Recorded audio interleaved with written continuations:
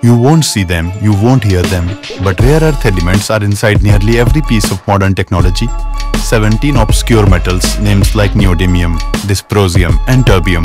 They are used in electric vehicles, smartphones, wind turbines, lasers, military radar and even guided missiles. Despite their name, these elements aren't actually rare, but they are rarely found in concentrated mineable forms and processing them is complex, toxic and expensive. China meanwhile invested heavily, offering subsidies, building supply chains and tolerating pollution. China processes over 85% of the world's rare earth supply. By 2010, it became the undisputed global leader. That year it cut exports to Japan over a territorial dispute. Global prices skyrocketed and countries realized how dependent they had become. Since then, projects have restarted, like the Mountain Pass mine in California and new ventures in Australia and India. But rebuilding full processing capacity takes time. So while the world talks about chips, batteries and AI, the real game is being played quietly beneath the surface because whoever controls rare earth elements controls the future.